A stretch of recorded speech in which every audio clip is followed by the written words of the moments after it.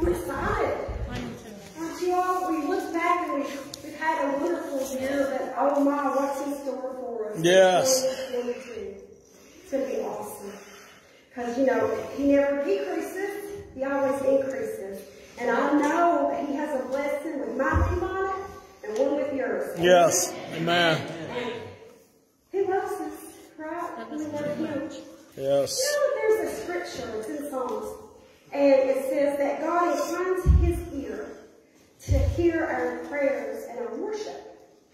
And so I was studying that one, one day, and so when it, it, talk, it talks about he inclines, he actually stands up.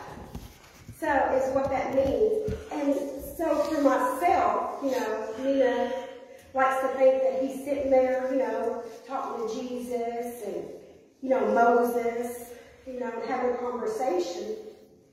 But he hears me when I start worshiping and praying. But he's like, wait just a minute. I hear one of mine. Let me see what's going on. So he stands up and he looks over and he sees me. To see what I'm hollering about. To see what, um, because I'm hollering and worshiping my victory. So he's wanting to see what's going on while I'm proclaiming a victory to make sure there's nobody bothering me. Because he knows that I know that no matter what the circumstances are in the world, I praise him.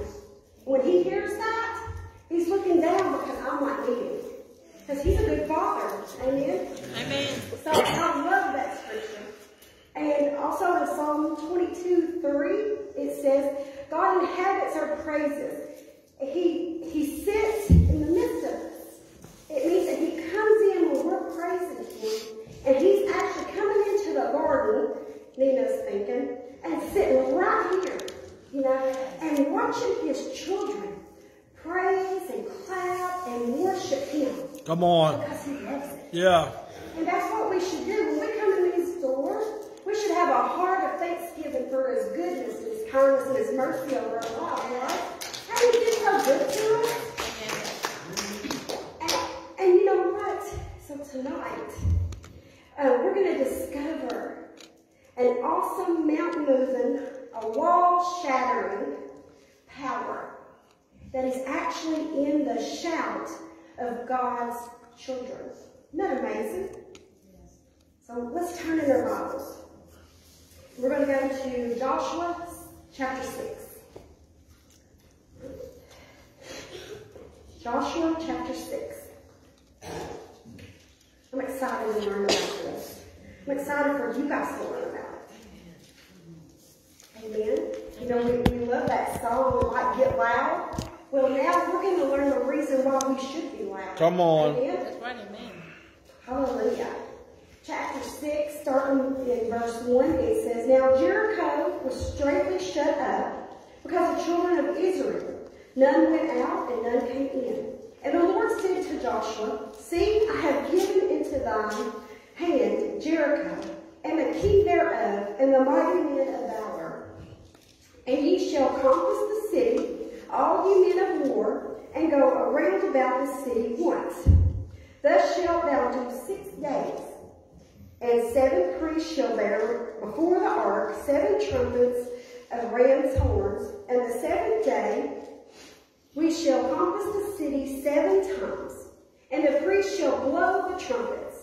And it shall come to pass that when they make a long blast with the ram's horn, and when ye hear the sound of the trumpet, all the people shall shout with a great shout, and the wall of the city shall fall down flat. And the people shall ascend of every man straight before him. And Joshua, verse 6, And Joshua the son of Nun called the priests and said unto them, Take up the ark of the covenant, let seven priests bear seven trumpets of ram horns before the ark of the Lord. And he said unto the people, Pass on, compass the city, and let him that is armed pass on before the ark of the Lord.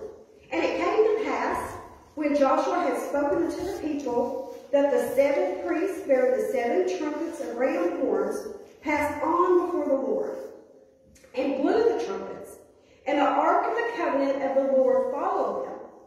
And the armed men went before the priests that blew with the trumpets. and the reward came after the ark. The priests going on and blowing with the trumpets. Verse 10 Joshua had commanded the people, saying, Ye shall not shout, and nor make any noise with your voice, neither shall any word proceed out of your mouth until the day I bid you to shout. Then shall ye shout. So the ark of the Lord compassed the city, going about at once. They came to the camp, and they lodged in the camp. Joshua rose early in the morning, and the priests took up the ark of the Lord. And seven priests bearing seven trumpets of ram's horns before the ark of the Lord went on continually, and blew with the trumpets. The armed men went before them, but the reward came after the ark of the Lord. The priests going on and blowing with the trumpets. Verse 14. The second day, they compassed the city once, returned to the camp. So they did six days. And it came to pass on the seventh day that they rose early, about the dawning of the day, compassed the city after the same manner seven times. Only on that day they compassed the city seven times. And it came to pass at the seventh time, when the priests blew with the trumpets, Joshua said to the people, Shout, for the Lord hath given you the city, and the city shall be accursed, even it, and all are therein to the Lord. Only Rahab the harlot shall live, she and all that are with her in the house, because she hid the messengers that were sent. And ye, in any wise, keep yourselves from the cursed thing, lest you make yourselves accursed. When you take of the accursed thing, make the camp of Israel a curse and trouble it. But all the silver, all the gold, and the vessels of brass and iron are consecrated to the Lord, and they shall come into the treasury of the Lord. So the people shouted when the priests blew with the trumpets, and it came to pass, when the people heard the sound of the trumpet, the people shouted with a great shout, that the wall fell down flat, so that the people went up into the city, every man straight before him, and they took the city. So remember, we just read in Joshua 6.20. Now focus on this part. In the scripture it says, And the people shouted with a great shout, and the wall fell flat, so that the people went up into the city. You know, in the Message Bible, it tells us the priests blew the trumpets. When the people heard the blast of the trumpets, they gave a thunderclap shout. Now, I don't really know what a thunderclap shout is, but I can imagine just from the thunderstorms, it was pretty loud, right? The people gave a thunderclap shout, and the wall fell down immediately when they did that. And then the people rushed straight to the city, and they took the city. So if we go back to our text, we see that the people rushed straight to the city, and they took it. But before this happened, at the beginning of the chapter, we find that Joshua and the children of Israel approached the city of Jericho. At this point, God immediately tells Joshua two different things. And the first thing he says is, I have given you the city.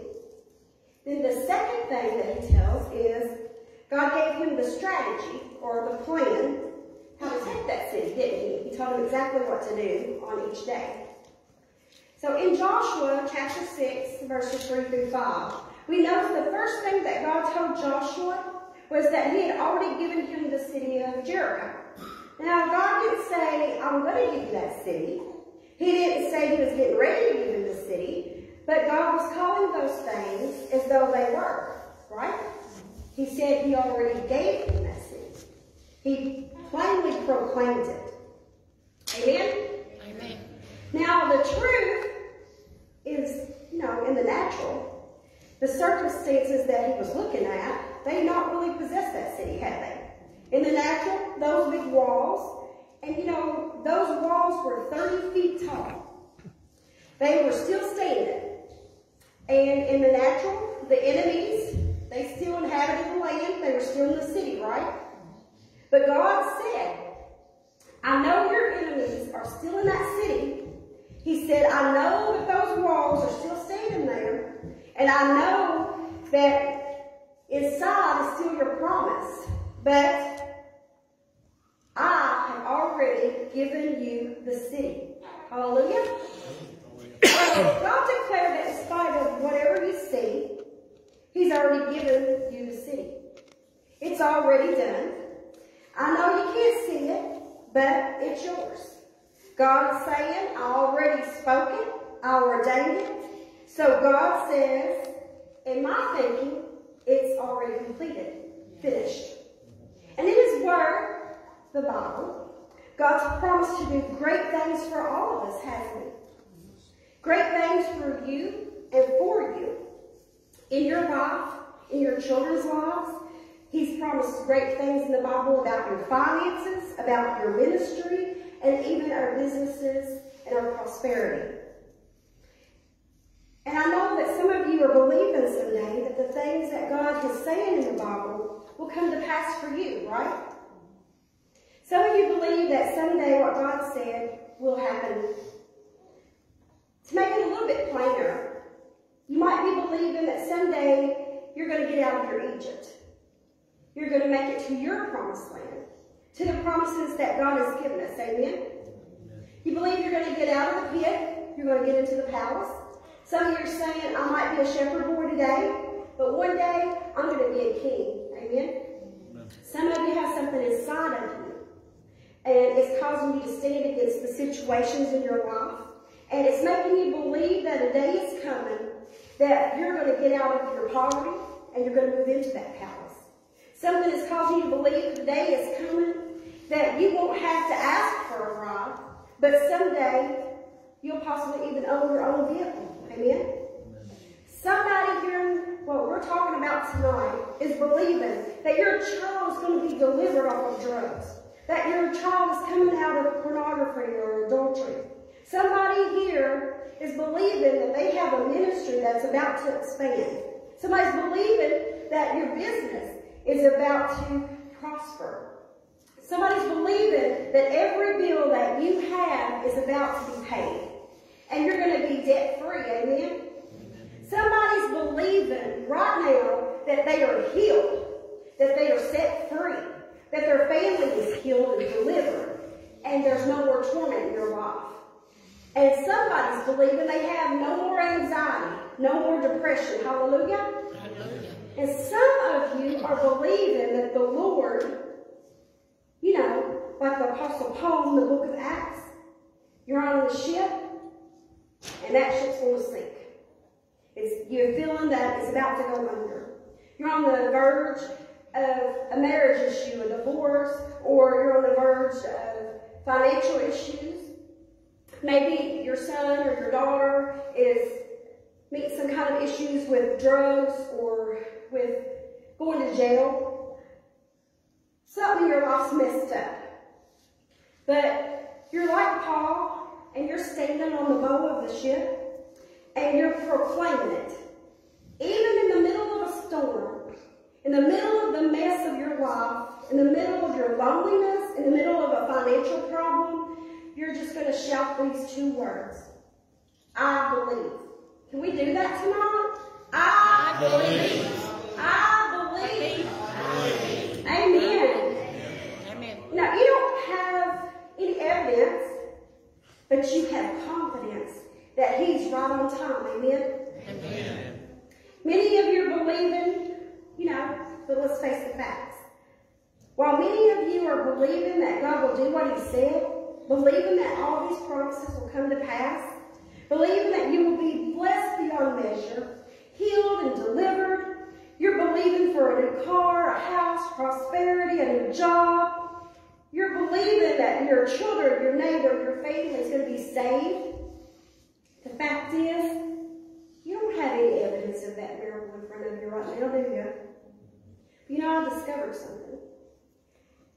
When you get your bills paid by somebody, or maybe when you come across that new house, or get a little extra bonus pay, Maybe you get a new car. Maybe your son comes home and says, hey, Mom, I'm off that mess. Getting my life together. Or when your daughter comes home and says, you know what, Jesus appeared in my car. and talk to me. When it's your kids that get saved and your family gets free from sickness, when that happens, nobody will ever have to tell you to praise the Lord then, will they? When this happens, nobody has to tell you to give God a shout of praise. Nobody has to say thank you, Jesus, right? Because you're automatically going to do it. When good things are happening in your life, it's automatic for us, isn't it? It's inside of you and it comes out. This thing called praise and a shout of joy. When God does what He says he, He's going to, when you receive that thing that you've been believing, for nobody has to tell you then to give God praise, do they? But that little river of praise, it starts flowing inside of you and it has to come. And I'll say it again. When you get blessed, set free, saved, nobody has to tell you to praise the Lord. Now, people may tell you to quiet your praise down sometimes, because some religious people, they get nervous when you start shouting and clapping and hollering and thanking the Lord. But again, they don't have to tell you to praise the Lord. They just tell you to hush. God told Joshua, I've already given you the city. If you start thinking like God, you'll not go around saying all the time, someday I'm going to receive that. But instead, you're going to start saying, even if I don't see it, I believe it. Yes. And even though there's no manifestation, God said it, therefore I believe it. It's done, it's mine, right? Amen. Now, I'm not into this name it and claim it like, oh, I'm a millionaire, I'm going to get a helicopter, that kind of thing. Not saying that the Lord can't bless you that way. But I do believe in claiming our healing, in claiming prosperity, in claiming the freedom, those types of things. So, um, even though you don't see it with your natural eyes, if you start putting those spiritual eyeglasses on, you can start seeing it right. I mean, it might be a new car. Maybe you're just out there in the middle of your driveway, just hollering and praising the Lord, thanking Him for everything that, you know, thank you for this vehicle, Lord. Praise you, Jesus, for this vehicle. And your neighbor is looking over at you and saying, what are you doing? and you're like, I'm praising the Lord for my new car. Yes. And they're like, well, I see a bicycle there, buddy. You know? and you're like, well, you're not looking through God's eyes because I know the promises He gave me. Amen? Because, you know, in your world, there's nothing there but a bicycle. But in God's world, it's my new car. It might not be brand new, but it'd be new to me. Amen? Amen. And I see it right here in my driveway, and I'm going to speak it out. In God's word, it's already there again. And it's ours. Hallelujah. Hallelujah. You know, in the same way, for the new car, we can see our healing. Even though that manifestation isn't there in our bodies yet, you can see that your child is delivered. You can see that your brothers and sisters are set free and serving the Lord. You can proclaim it with your mouth. You can claim it over their lives that they're serving the Lord and they're healed. Amen?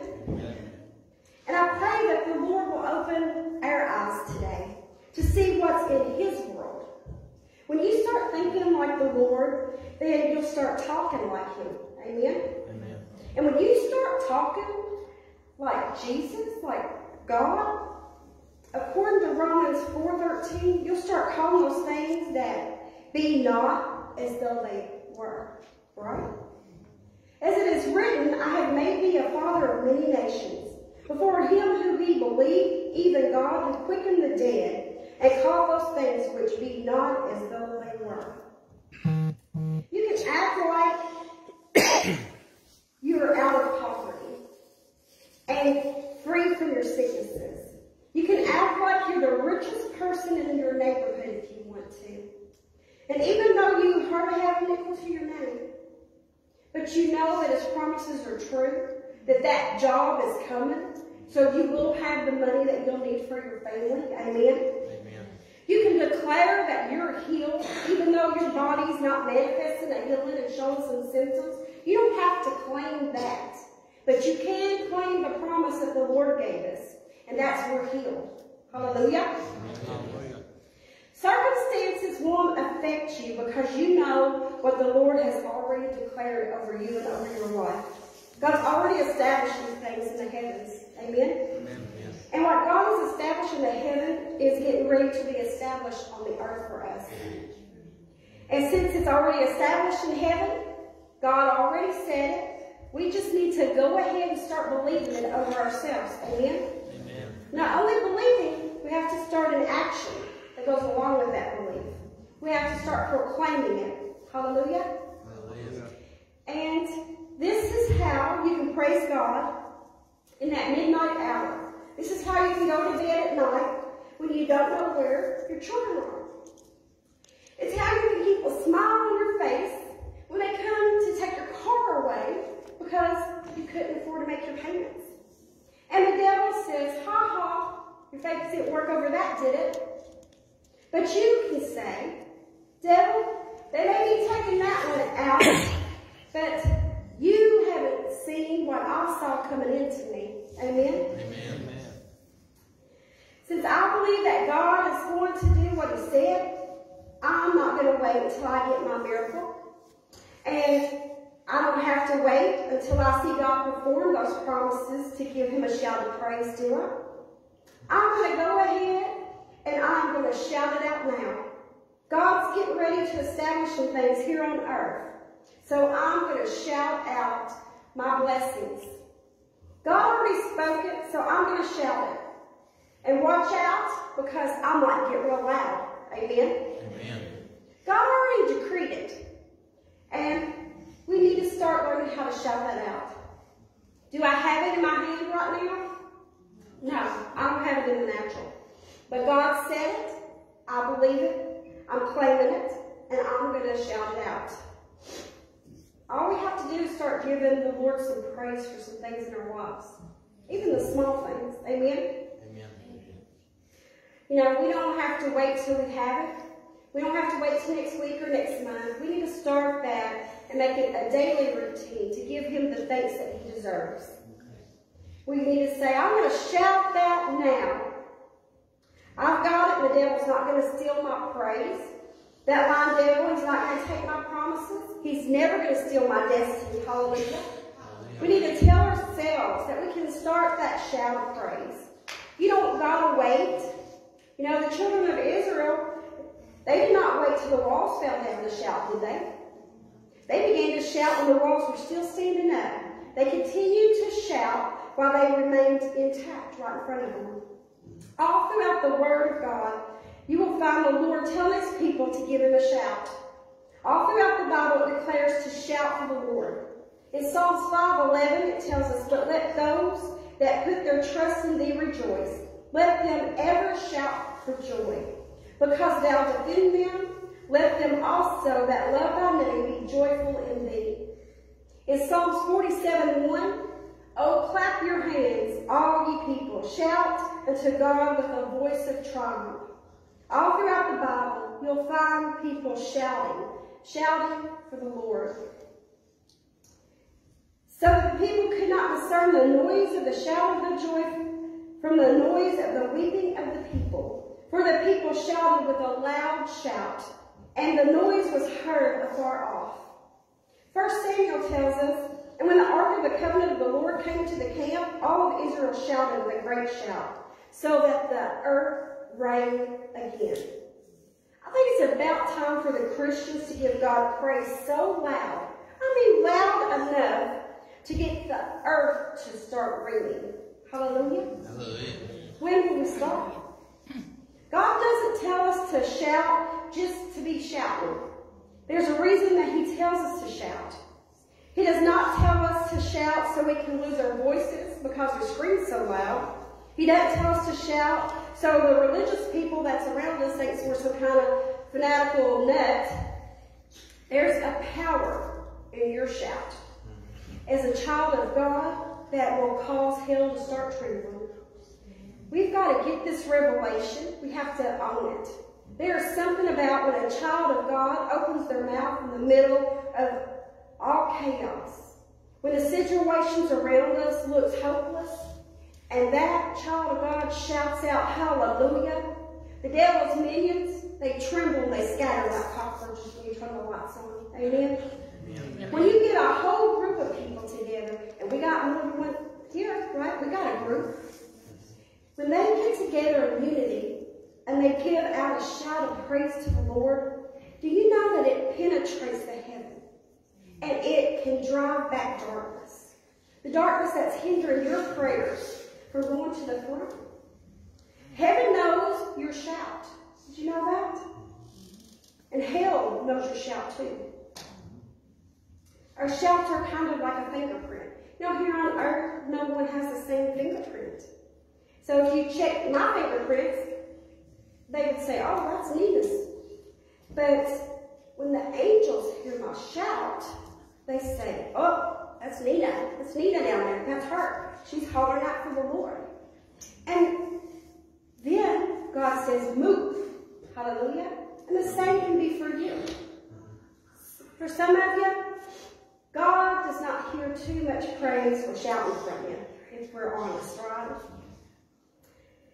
Of the Lord hears you every day, shouting his praises and his goodness. When you begin to shout, it weakens the enemy. When you begin to shout, it will silence the enemy. It silences the enemy that's torturing your life. Isn't that awesome? It can silence his roar that you hear. It causes the walls of hell to tremble. It damages the structure of hell when you start your shout and your praise. There's power in a praise shout. When you shout, you cause the devil to tremble and the heavens to open up.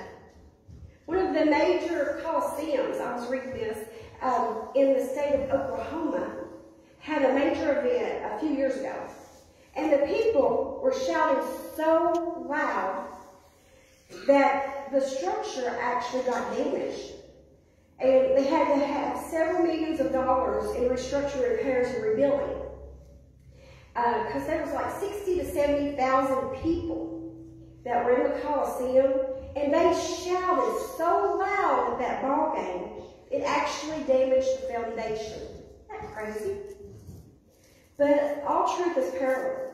If they can shout so loud at a ball game Come on. that it fractures a man-made structure, what does it do to hell when the children of God start raising their Come voice on.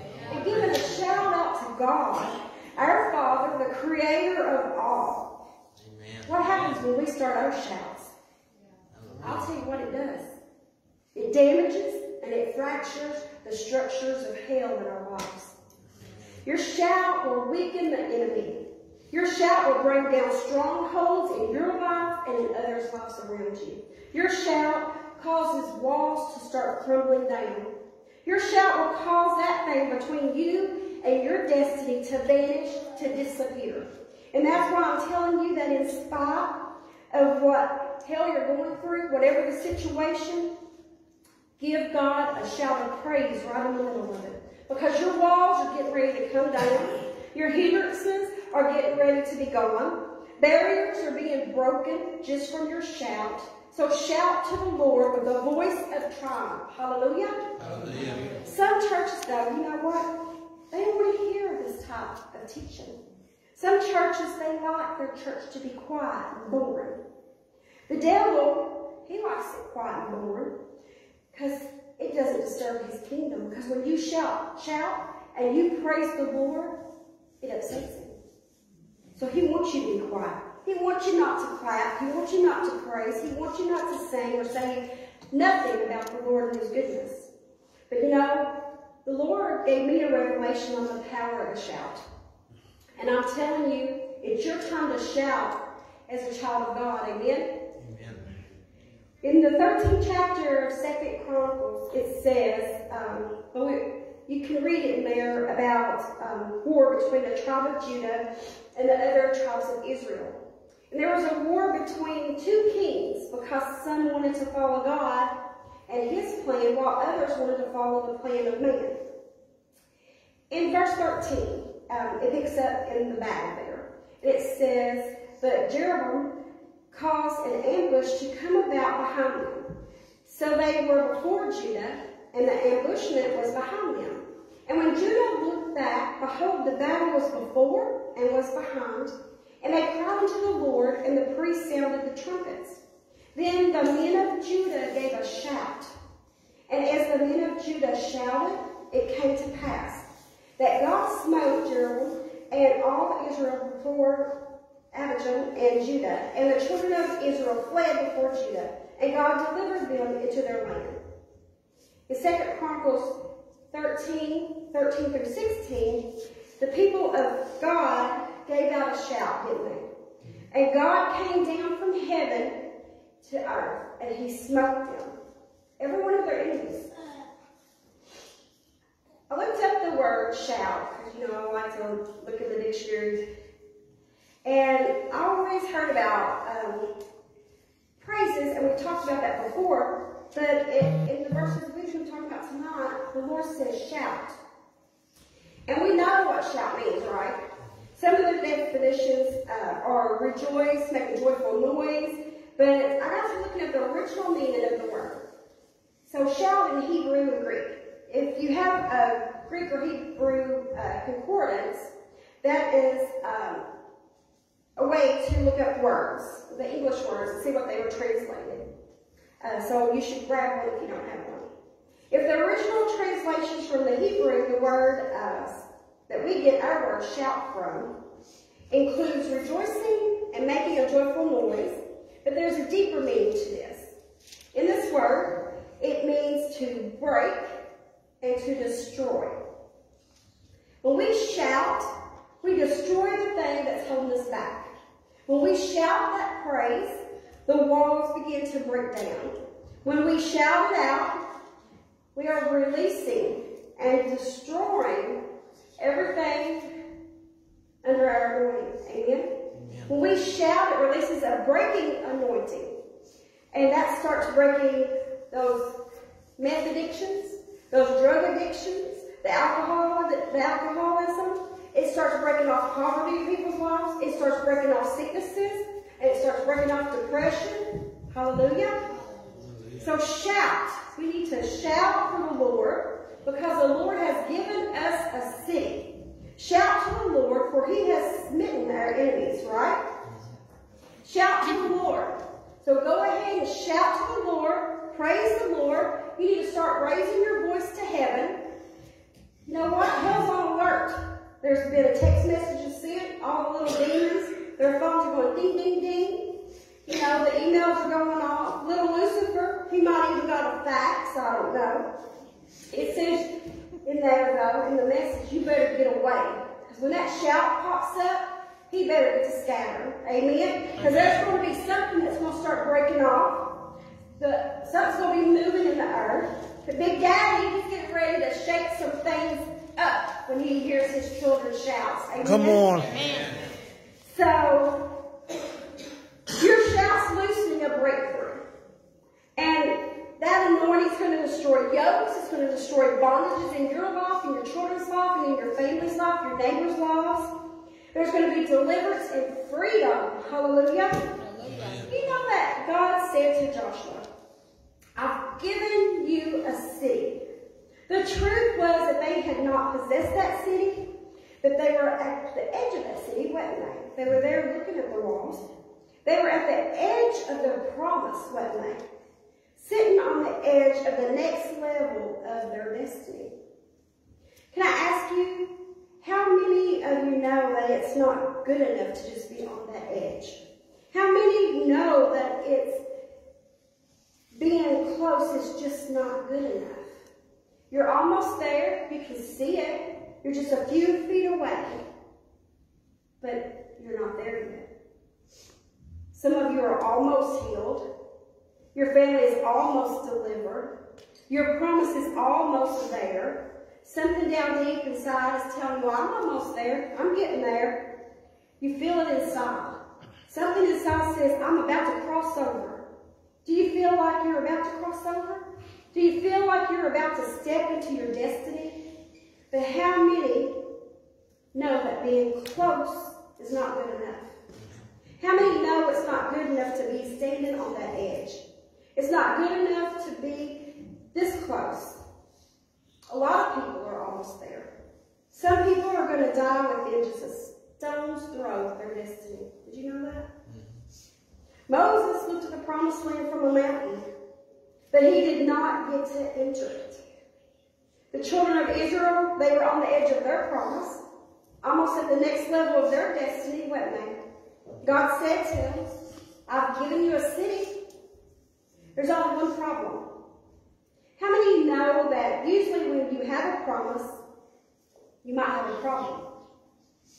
So I can reword that. Um, how many of you know that when you have a promise, you usually have a whole lot of problems that come?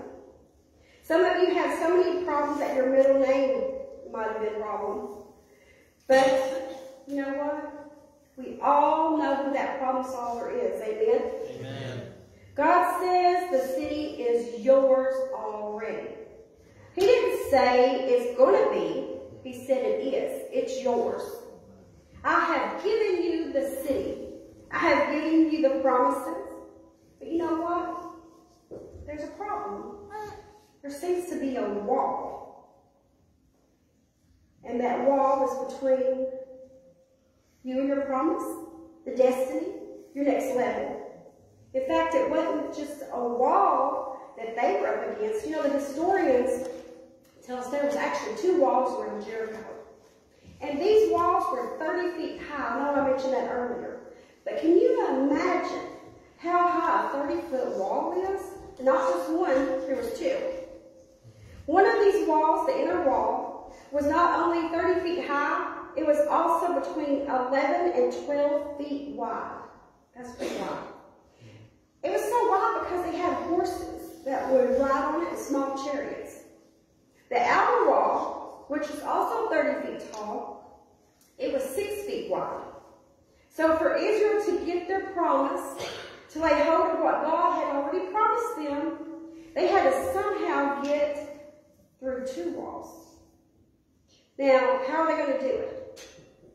They probably talk between themselves, don't they? Oh, we could probably climb over it. Let's knock a hole in it. You know, find some way to destroy that wall. Um, but, you know, they can't. It's too high. None of them were that tall. It's really thick.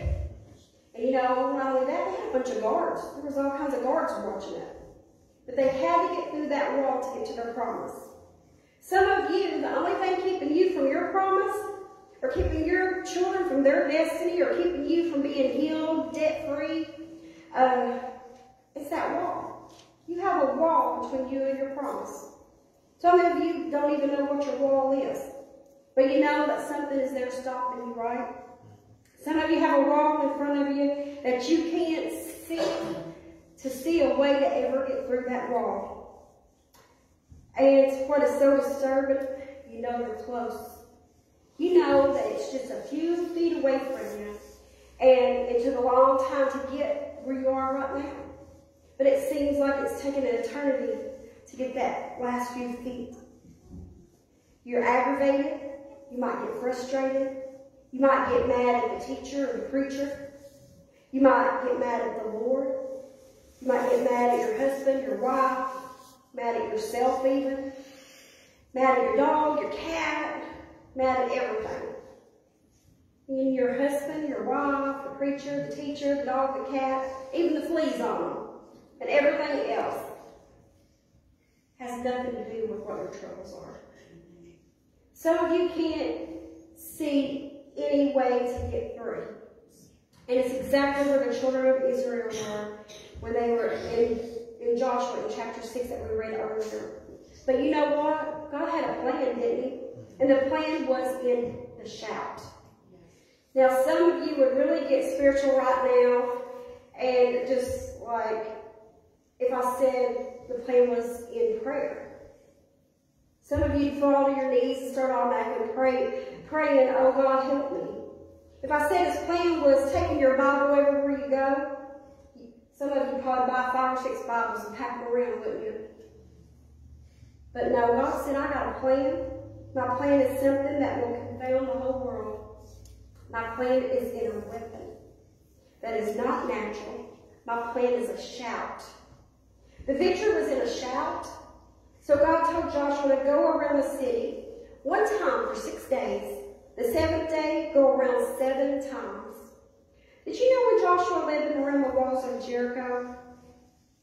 I really like this. He was 80 years old. 80 years old. Some of you walk from the there inside this church, and you're out of breath and you can't even stand up to praise the Lord when you get in here, right? But Joshua was 80 years old, and he was saying, Come on, boys, y'all need to follow me. The Lord gave me a word. You ought to start shouting. My strength's renewed.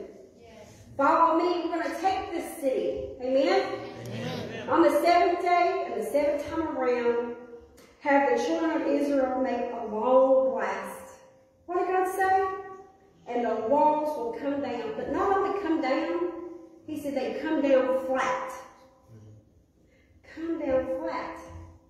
Now the people shall shout a great shout, and when they get out a long blast with the ram's horn and the trumpet, and when the people start shouting, the walls will come down flat. And Joshua did that. And the walls were suddenly, they fell, right? So I want everybody to get on their feet and they need to start clapping. Get up. Start clapping. Give God a clap. Praise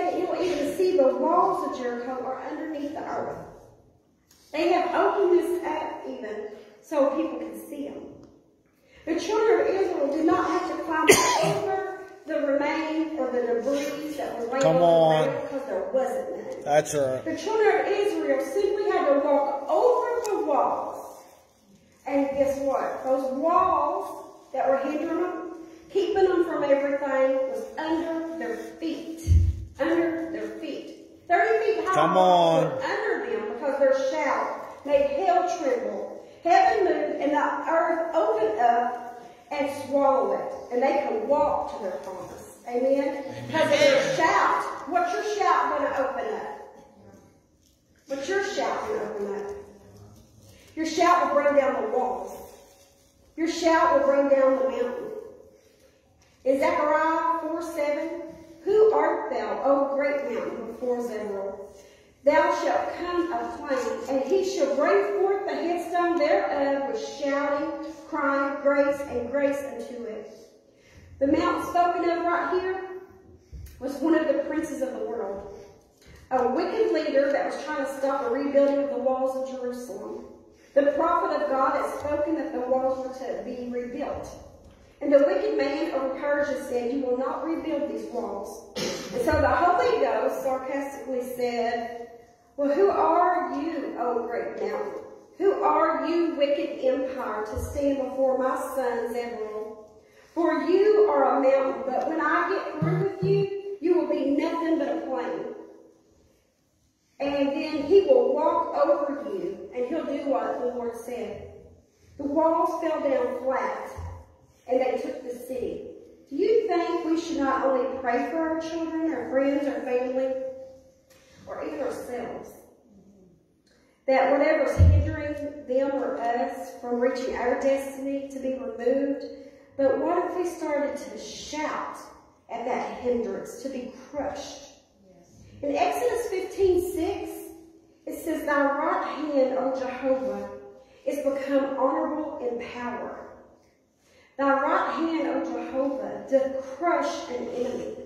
Not to just bring it down, but to crush it. We don't just want to see something come down that's hindering us. We want to see it crushed, made flat. We want to see the earth open up and swallow it so we won't have to fight it anymore. Just like with Joshua and the children of Israel, there was a wall between them and their promise, wasn't there? People need to start beating that wall. Amen? You need to start beating it. Not only with your prayer, your prayer, your travailing, and your interceding. We need to realize that right on the other side of that wall is what we need, our destiny, our healing. On the other side of that wall is somebody's marriage, is somebody's destiny, somebody's children, and somebody's freedom. Hallelujah. Everything that God has promised his people is right on the other side of that wall. In the body of Christ, you know, it's a large army. It's a large army of people, and sometimes they're praying. They're travailing before the Lord, but they get tired. Anybody ever get tired? Today, it seems like God's people are just starting to get weary. You can look at the older days and compared to nowadays, and I know Pastor Danny talks about it a lot, about the power and the, and the way that things were then compared to now. The people today, they still pray, but they, they've lost something. They're losing their passion. They still love the Lord, and they hold on with a little hope that somehow that wall might come down, and they might see the things that they're desperately believing for. Some are saying if you could get this court case settled, and if you could just move out of poverty into prosperity, if you could pay my bills, if you could just put me on a big stage and let me preach, if I could just get my ministry going forward. But then they're tired because they're praying at the wall. Because they keep praying, one day they'll look and the wall, though, if they shout at it, will be gone. They can just pick up their feet then, and then they can walk right into that promised land, what the Lord promised them. Amen? Amen. They don't have to climb over anything. They don't have to move anything. Remember, the earth opened up and swallowed the walls of Jericho. How many people know that God is more than able to make a wall disappear and to vanish? And all the people have to do is then walk right into their destiny. Amen. But it costs you something, doesn't it? Yeah. Somebody needs to start shouting. Somebody needs to start praising the Lord. On the other side of your wall is your children saved, your children delivered. On the other side of that wall is everything that you need, your healing, the miracle that we're looking for, your prosperity, your new house or whatever. But not only that, new revelations, new relationships. On the other side of that wall is everything that you need because it's your destiny. Your prayers can break down walls, but your shout of praise with these prayers will accelerate the bringing down of the wall. And then your wall will be swallowed up. Amen? Amen? So what are you waiting for? We need to give the Lord a shout every day, and not just a shout, a shout of praise and of honor. Amen? Because he's worthy. We need a shout because we need to start damaging the walls of hell that's coming against us. We need to shout out because God has given you a city. And the kingdom of heaven suffers violence. And the violent take it by force. Amen? Amen? And that force for us is going to start being in 2022 our shout to the Lord. Come on. We're going to shout to the Lord. Amen? Hallelujah.